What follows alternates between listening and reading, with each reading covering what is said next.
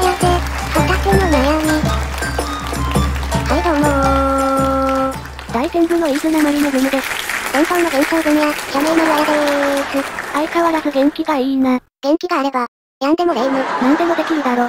なんだそのやんでもレイムというのは。ほのぼのレイム。それも違うだろ。やんでますからね白霊の巫女がそれでは困るな。そうそう。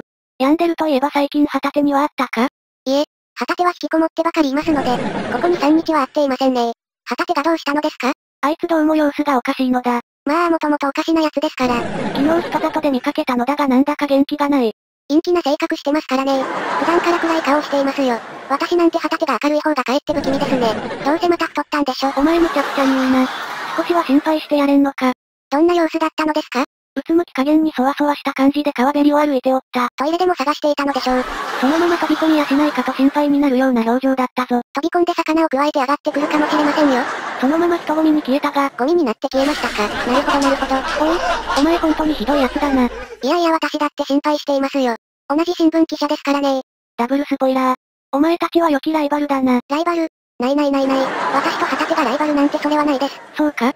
いいコンビだと思うがな。そもそもホタテの、旗手だろ。旗手の能力は念写ですよ念写。皆さんご存知ですか？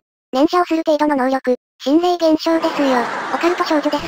ここが幻想郷でなかったらはぶられてますよ。しかし便利ではないか。その場へ行かずして写真が撮れるのだぞ。いえいえ。念写なんて他人が考えていることは写せませんからね。自分が思い浮かべたものしか写せないんです。はっきり言って使えない能力ですね。そんなことはなかろう。立派な能力だと思うぞ。使えませんね。例えば、レイムさんのパンツの色を知りたいと思った時に、なぜ思うなぜ唐突にそう思う皆さんだって知りたいですよね。私なら風を起こしてスカートめくっちゃいますね。お前封印されるぞ。もみじなら千里眼を使いますね。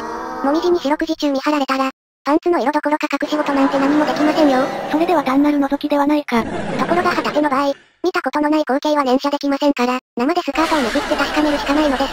これって犯罪じゃないですか。いやいやいやお前たちの行為も犯罪だろ。全部犯罪だ。そうですかね私のは風のいたずらだと思いますが、黙れ社名丸。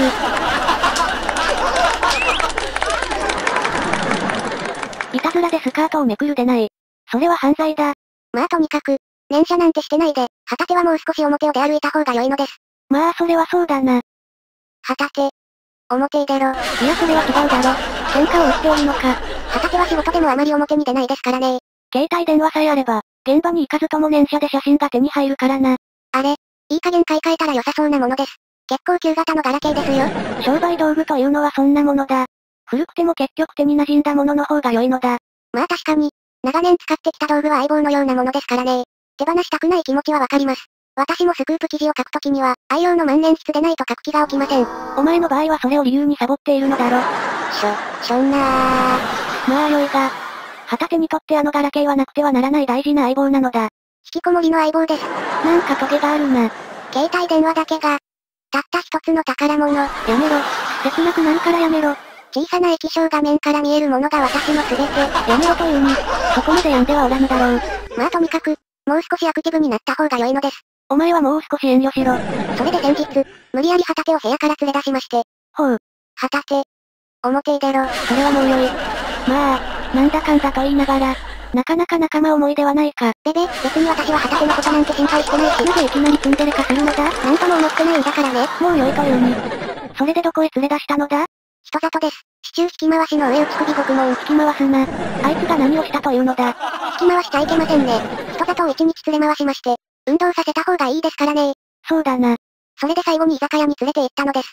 今日はよく頑張ったから何でも好きなものを頼めーって。お、お主いいとこあるではないか。割り勘で、あのなそしたら旗手、ビールがうまいうまいと言って、いつもの3倍も飲んじゃいましてですね。運動の後のビールは格別だからな。帰る頃にはベロンベロン、泥酔してましたね。まあたまにならそれくらい飲んでも許してやれ。日頃のうさも晴れるだろう。飲むのはいいのですが、皆さん気をつけてくださいね。忘れ物。おう。酒にまつわる忘れ物の失敗談は誰にでもあるな。私もお前に渡すボーナス袋を店に忘れたことがある。それは忘れないでください。さらっと言いましたが初耳ですよ。それだけは忘れないでください。何してくれてるんですか全く。翌日店に行くと店主が預かっていてくれてな。やれやれ。事なきを得ました。拾ってくれた客が猫ばばせずに、店主に預けておいてくれたのだ。皆さん世の中捨てたもんじゃありません。いい人に拾ってもらえてよかったですよ。うむ。ありがたいことだ。店主にはその客に渡してくれと謝礼を1割託してきた。ちょっと待ってください、飯綱丸様。まさかとは思いますが、その1割の謝礼はどこから？拾われた金から出すのが筋だろう。私のボーナスから出したのですか？皆さん、飲んだ時の忘れ物には気をつけましょう。ひどい上司ですよ全く。それで、旗手は何を忘れたのだ？そうそう。居酒屋からの帰り際にこんなものを拾いましてね。なんだそれは、旗手の携帯電話ではないか。